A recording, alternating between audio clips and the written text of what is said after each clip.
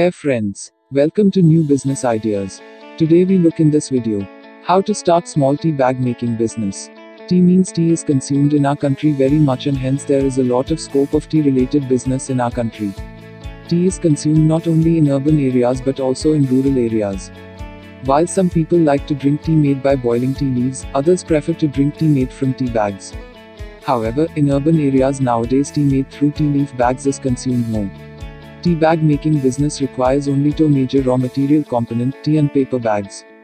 A tea bag is a small, porous sealed bag containing tea leaves and it used with a hot cup of water to prepare the beverages called tea. An aspiring entrepreneur having adequate knowledge about tea leaves can start tea bag making business with moderate capital investment.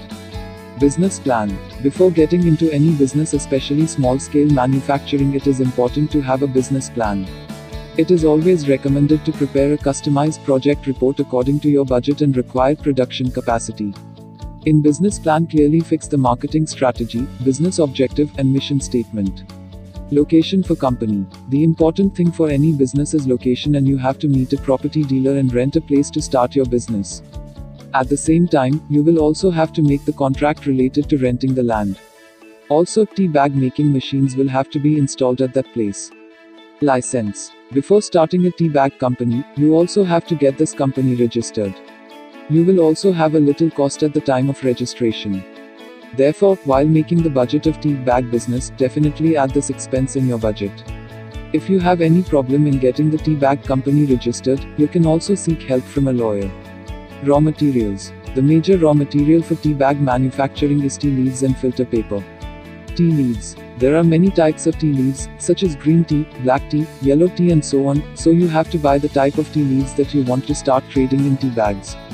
You can buy tea leaves directly from any merchant selling tea leaves, or you can make your own tea leaves by buying leaves of tea trees from a tea plantation. It is worth noting that tea leaves are prepared by breaking the leaves of the tea plant and drying them. Filter paper. The filter paper used to make tea bags is mainly made from abaca fiber, abaca, and these fibers are obtained from Philippine banana leaves, also known as Manila hemp. Tea leaf is filled inside the filter paper and tea is made by adding tea leaves along with this paper in hot water. The filter paper used in making tea bags is very porous and thin. Apart from this, this paper does not get wet easily, due to which this paper does not dissolve in hot water and that is why this paper is used for making tea bags. Other essentials are packaging materials like tags, pouches and cardboard packets. Machinery for tea bag making. Tea bag making machines form tea bags with string and tag from heat sealable filter paper. It's an automatic operation where the bag forming filling, sealing and attachment of the string and tag is fully automatic.